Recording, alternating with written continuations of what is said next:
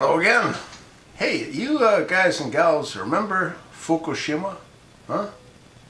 You remember when that nuclear plant had a meltdown? Remember when we used to hear about radiation levels being tested on the west coast?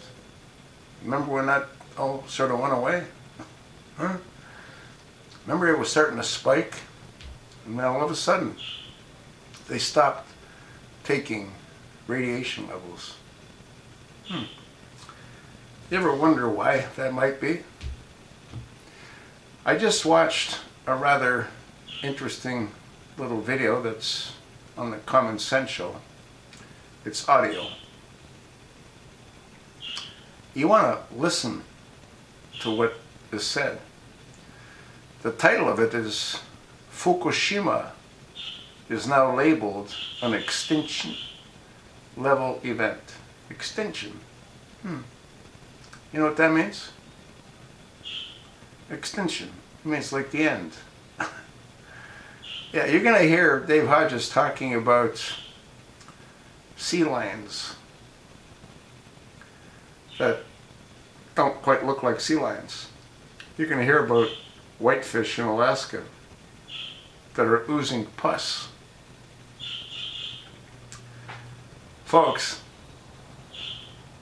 people tend to sort of pull a blanket over their head when they go to bed at night, thinking it's going to get better in the morning. This will never get better. There's another article, Nuclear Engineer, Fukushima meltdown could last 250,000 plus years. Folks, I don't want to frighten you